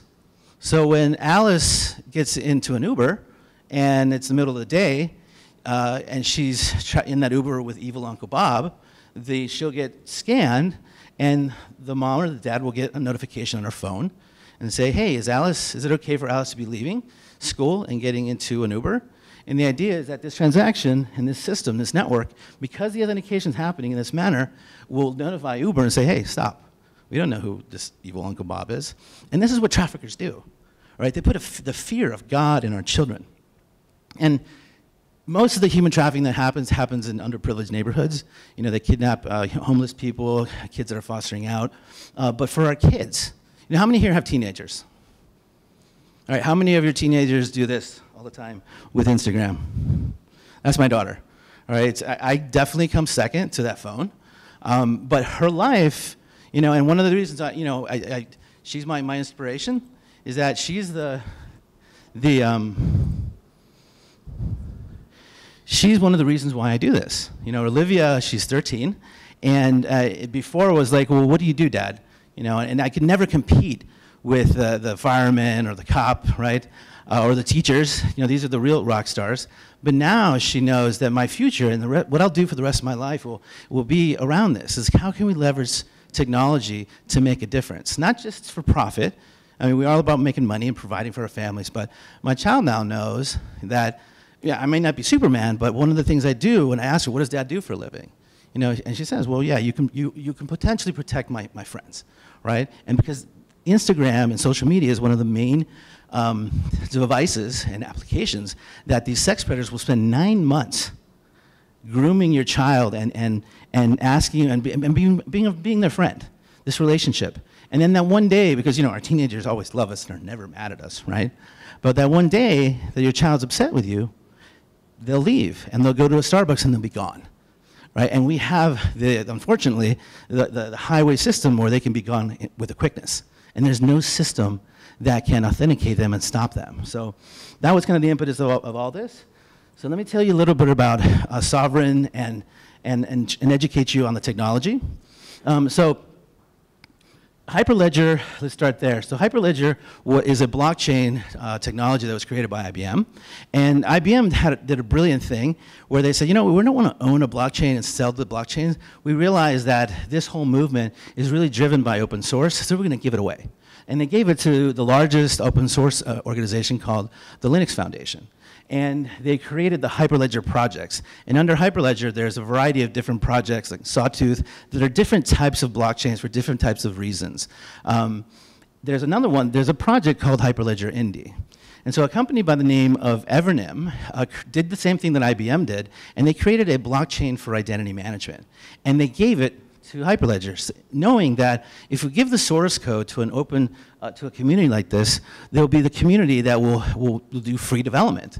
And also, it provides you with a way of of, of governance. So the, so the growth of this particular uh, blockchain and, and how we build the software, it's better in this particular model for many different reasons. So Sovrin is the is a well I'll tell you what Sovrin is in a, in a, minute, but the Hyperledger Indy and Sovrin are the same thing. This is where all the code is managed um, on open source. You can create your own identity blockchain identity network like Sovrin has done and create a, a you know in Charlotte or wherever with the same code base. So what is Sovrin So Sovrin is basically a global, a decentralized, self-sovereign identity network for enterprises, developers, uh, that's operated by independent stewards. All right, so what's beautiful about this particular network is that A, it's already built, and, the, and governance is really important when it comes to blockchain, is that, so who's driving the policies? You know, how are they developing the code, and who's making the rules? Um, because remember, even though Sovrin is a nonprofit foundation, their main goal is, is to really administer this governance framework and make sure that these, that these Sovrin um, stewards are doing what they're supposed to be doing, which is verifying credentials, all right, and allowing people to create decentralized identities, and they become the nodes on a blockchain network. And so, like I said, this particular network is, is one of the reasons why we chose this, uh, this technology and this particular solution is that when you're when you're an innovator, when you're in the tech space, you don't want to go and buy something that's based, that's uh, proprietary, for example, right? Because you know eventually uh, it's not going to interoperate. And if you're, you're creating a, a, global solution, you want to make sure that they, they're, they're based on open standards. Identity management has a, a collection of different uh, protocols that drive the Web 2.0 identity infrastructure, LDAP, uh, SAML, these are protocols that were developed and are run in, in, these organizations. So the W3C and the IETF are global organizations that run, that have, there's a standards body. And so HTTP, for example, is a standard that allows you to have, for web pages to work.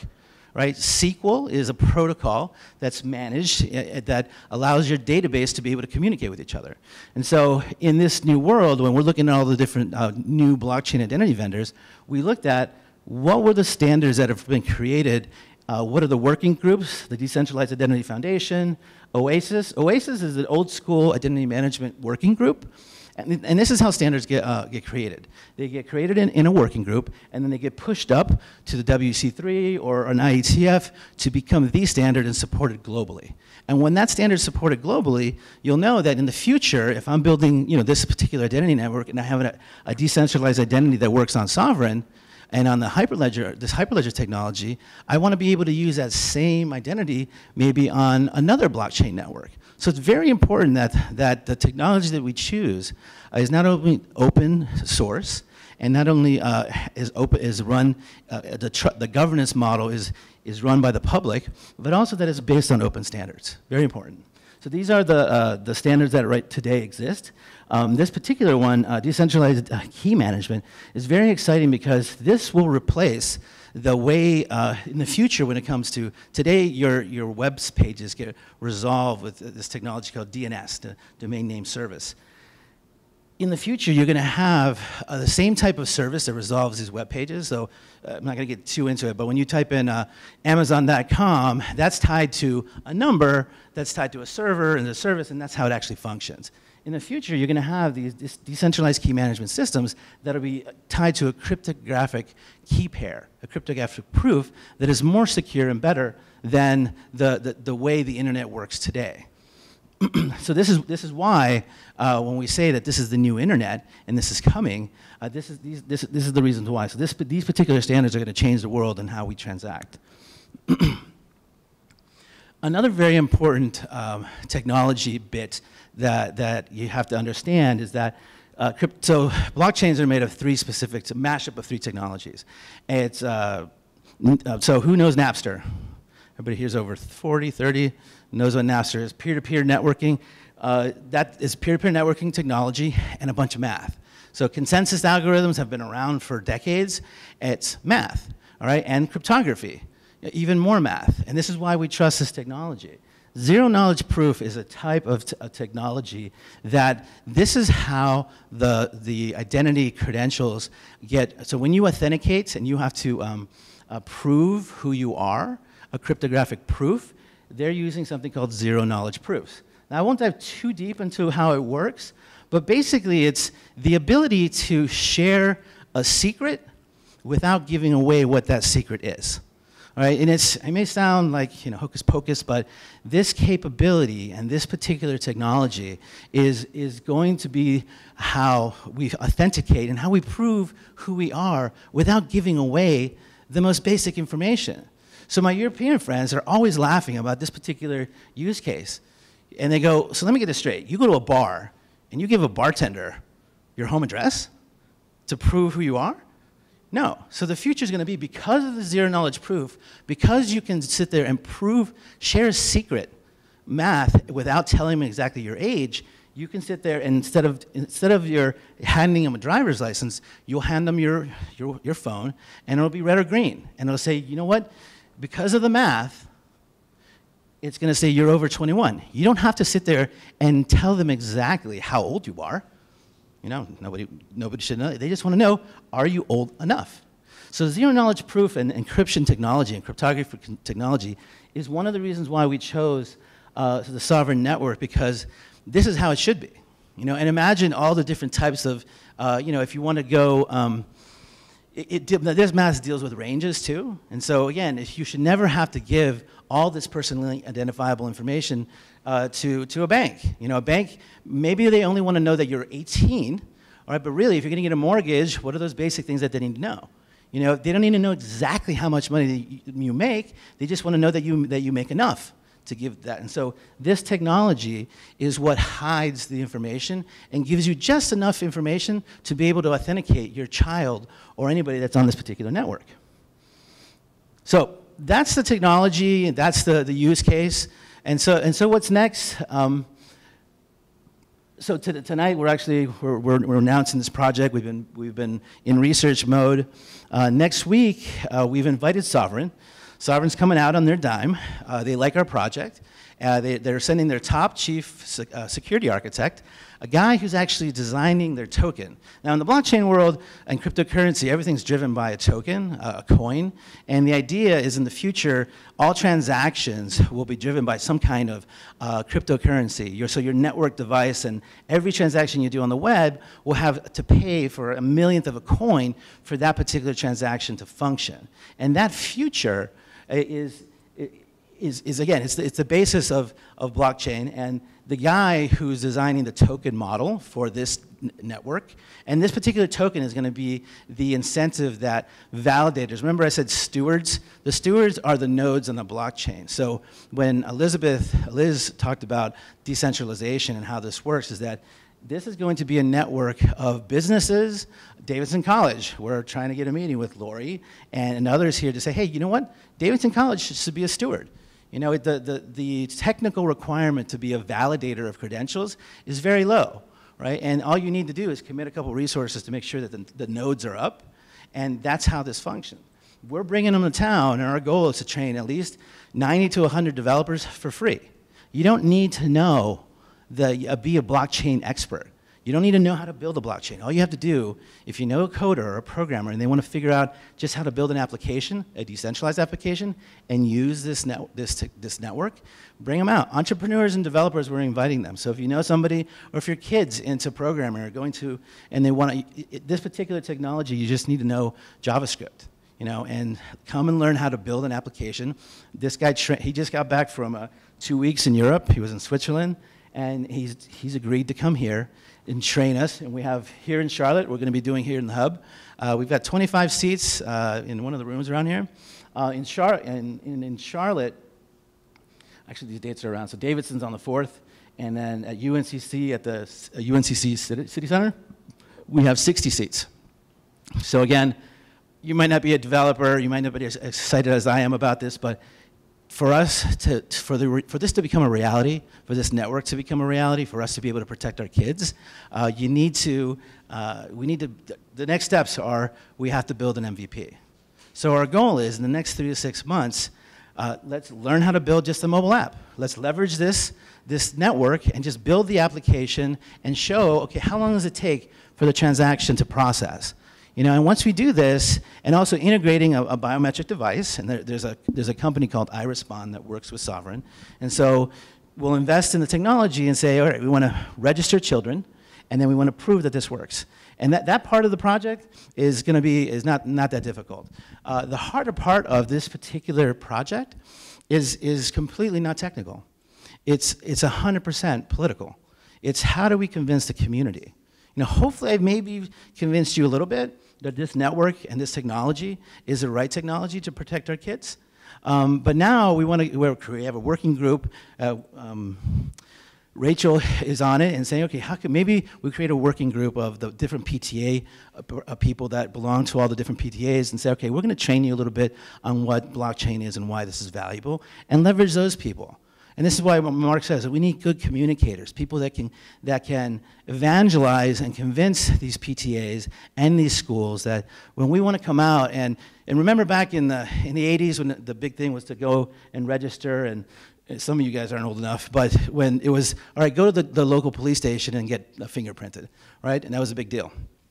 Now we want to do the same thing, but before we show up with, uh, with, you know, in a van and everybody comes out and, and gives their fingerprints, we have to convince them that it's a good idea. We have to convince them that this is better than Facebook. You know, they, this is better than Google. I have them understand why blockchain equals trust. And we're not trusting in humans. We're trusting in math. And who doesn't love that? That's the beauty of this technology. We're trusting in math, not in humans. Not that we're all evil, but that's the key element of the value proposition of this technology. So join our groups. Uh, the Hyperledger it, uh, Charlotte group is one, uh, uh one of our partner groups, uh, Blockchain LKN. If you go to meetup.com slash blockchain LKN, you can, you can join. Um, and with that, I'll open up to uh, questions.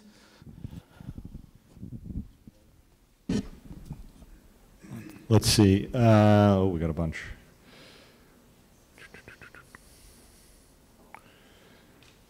Uh, first question, could this technology be misused by governments looking to control their populations? Great question. The answer is no. So the idea is decentralization. So one of the groups that we have to convince, uh, Senator Tarte is one of the uh, one of our is is on board, um, and he understands the technology, and the idea of decentralization is that you're removing the control from any one centralized group, including governments. All right. Now governments initially, when they when they hear about this, they're like and even businesses, they're going, well, I'm losing control. You know, the banks are going, I don't want to be a part of that. But when you see that when your customers start moving in this direction, um, this is what, uh, uh, you know, again, this is the, the whole, the difference between centralization and decentralization.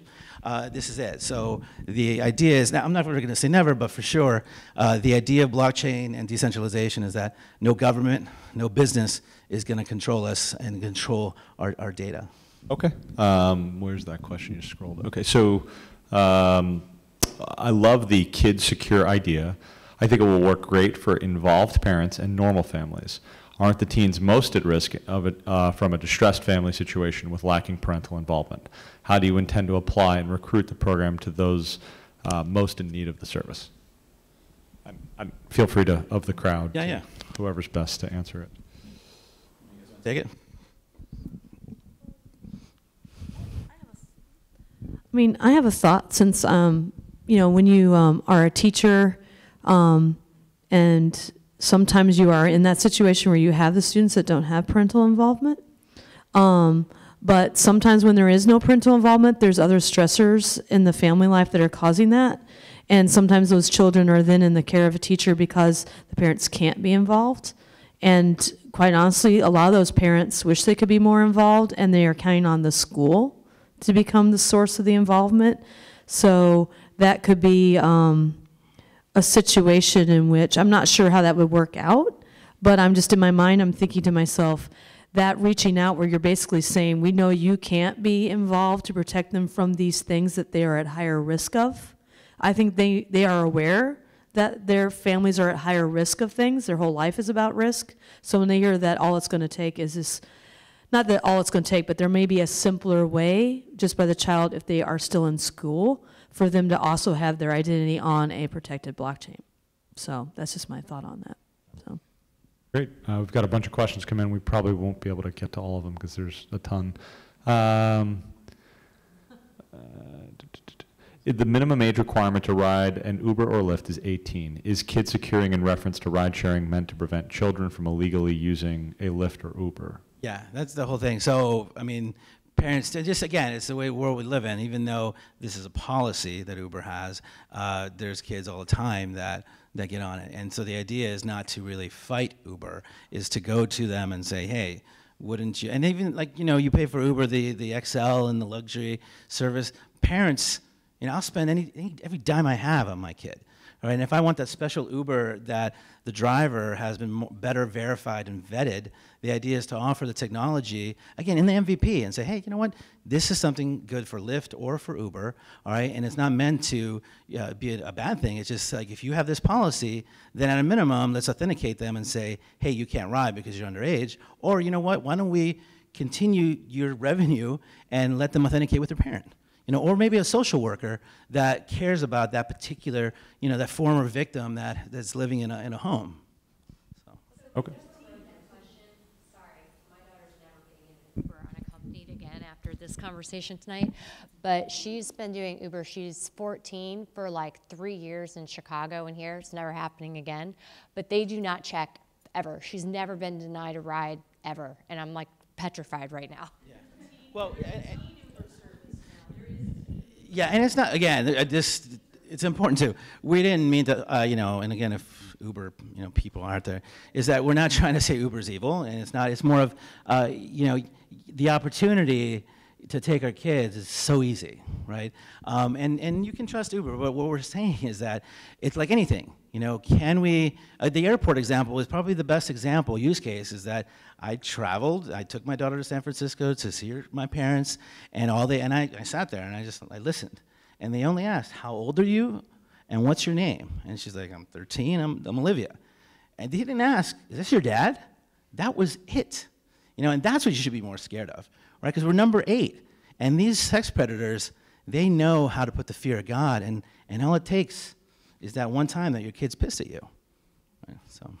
It's one of the questions uh, I actually had as I was listening. At what's a what's like a, a stereotype of a sex trafficked person? I always imagine someone from another country brought to the U.S. against their will.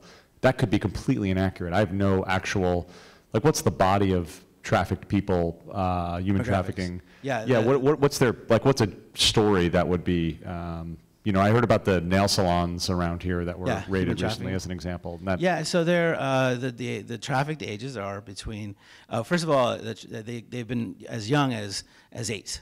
All right, there's a, if, you, if you Google Menna's story, M-E-N-N-A, is, is an example of familial trafficking, where an uncle uh, put his uh, eight-year-old uh, niece in, and gave him to, a sold her to a sex trafficker, right? So the, the profile of the Johns, you know, the profile in which is disgusting, and this is why we, we shouldn't be proud in this one case to be Americans, is that it's, it's American men that are buying the white male that are, are, are, are doing this to our children, right? They go on these uh, trips to uh, the Dominican Republic, you know, and, they, and they can get, in the DR they have a problem. They've got Russian, the Russian mob, they got the Chinese mafia, the, Chi the mob brings in European women, the Chinese mafia brings in young Asian girls. And then, they, and then we have, you know, Americans go over there and they, they they victimize these children. And so the, the, the age range, uh, there's, there's the, the primary ones that are trafficked are obviously the ones that are in uh, you know, poor communities, you know, homeless people, uh, if foster care. This is one of the things that really pisses me off. Foster care system is great. You know, I hopefully, I, hopefully I'll be able to adopt one day uh, more kids. Um, but foster care system in everywhere is actually, they're feeding more children to this supply chain. Uh, How does that work? Is that with, when a child fosters out, say a girl turn, turns 18, if you're in a foster care, what do you think your chances are that you're going to college? Right? They're very low. So when, when you're in the foster care system, you rank into the social mobility. And you know what social mobility is, right? We're 50 out of 50s. If you're, and, and, and so if you foster out within 48 hours of, of being out on your own, this is when the traffickers get you. And why? Because this poor person's cold. You know, because they, they want food, they want shelter. And so this is some kid that's been in a home, and now because they're uh, 18, they have to fend for themselves, and within 48 hours, they get asked a question. And they say, hey, come on, yeah, we'll give you food, but you know, you need to do this one thing. You know, and it's just this guy, just, you know, he's giving you all this, and that's how it starts. So it's, it pisses me off, and this is why, you know, I, I, I, I will do this forever.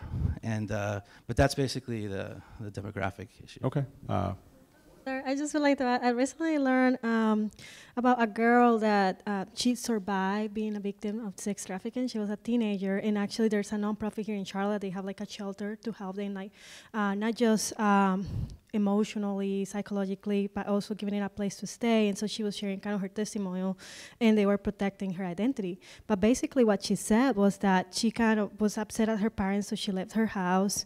Um, she didn't have a place to crash, so somehow she ended up somehow uh, uh, homeless. And then this a nice girl, she just approached her and he said, "Oh, you know, I, I want to help you. Um, you know, I, I can even buy you a pretty nice dress. Look at your clothes." And she was just so friendly and kind. So this girl didn't feel um, any fear of talking to this person. So usually they use other people that they feel this teenager can trust and they are friendly or around their age.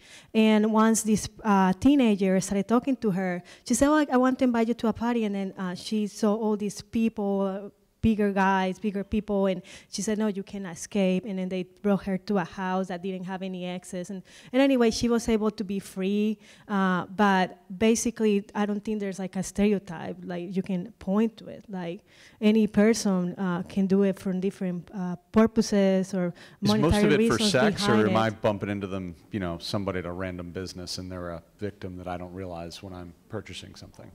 So. So, you know, 96 million of the 150 million is sex trafficking, but a large majority is uh, labor trafficking. So, what is the number one revenue business for North Carolina? Who can tell me? What is it? Not banking. It's, agriculture. This is this is what.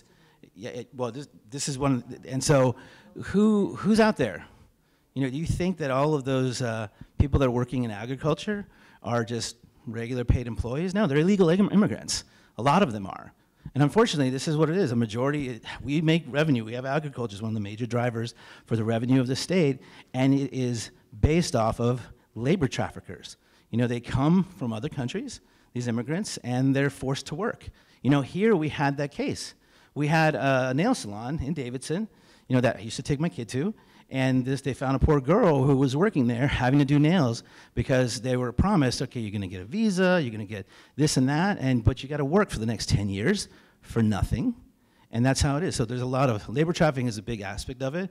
Sex trafficking is the nightmare, but it, the, the act of trafficking is is taking a person from point A to point B and forcing them to do work against their will. Fair enough. Uh, I saw a question in the back here.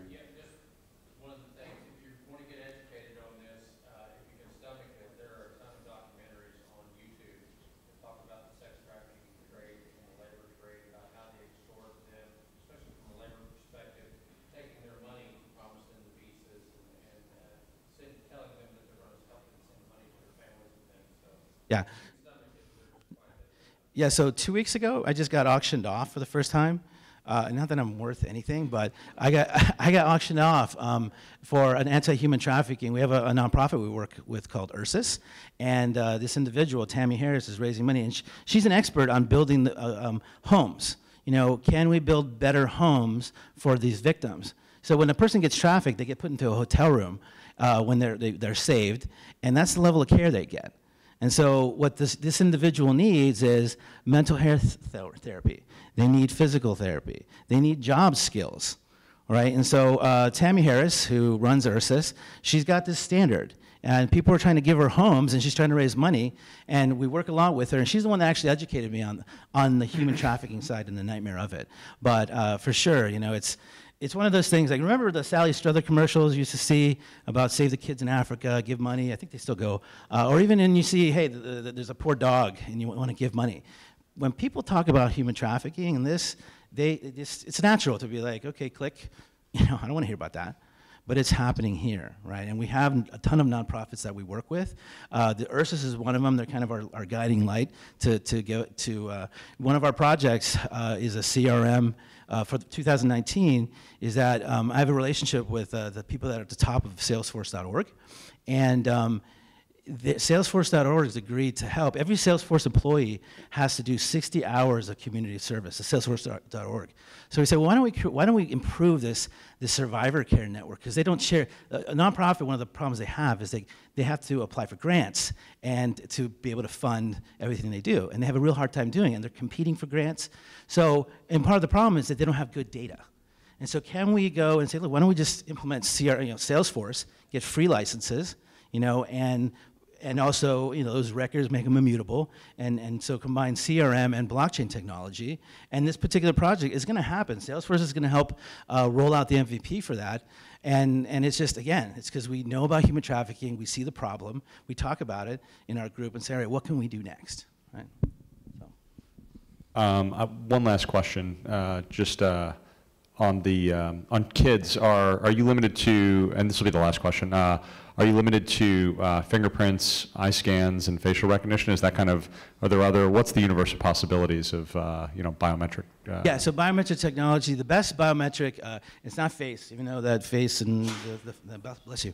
Um, the facial recognition technology is not the best, but there are there's uh, facial recognition, iris, and fingerprint. These are called biomarkers. Uh, right now, it's uh, fingerprint and and iris is actually the best.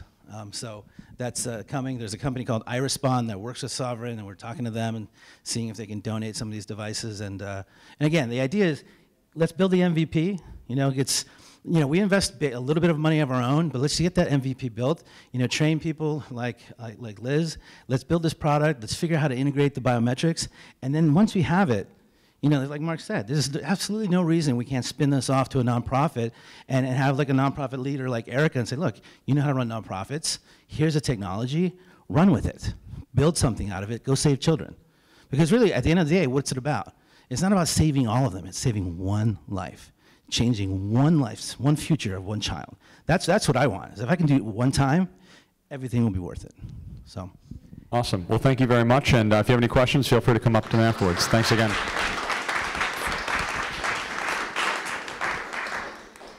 Thanks, guys. You guys did a great job. Really informative. Um, I appreciate all the perspectives as well. And I think it's um, great to point out that we do have a lot of people who are working in these groups that are non-technical people too. So um, we need everybody who has interest in these kind of topics to come and help figure out how their skills can be applicable in the group. So um, thank you all for being here tonight. We appreciate it. Um, we will be skipping December events because you all have lots of things going on in December. Um, but stay tuned for um, our schedule of events in 2019. If you were here tonight, you should be on our email list. Um, so we'll be communicating with you in the future. But if you have any questions, you can always reach out to me through the website um, and we can talk a little bit more. Thank you.